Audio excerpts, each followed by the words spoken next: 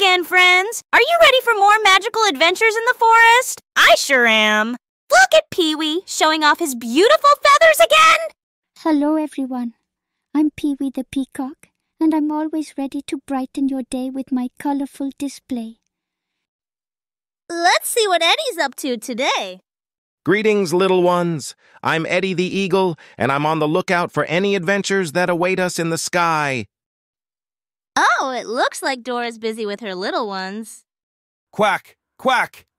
Hello again, friends. I'm Dora the Duck, and I'm showing my ducklings how to paddle and explore the pond safely.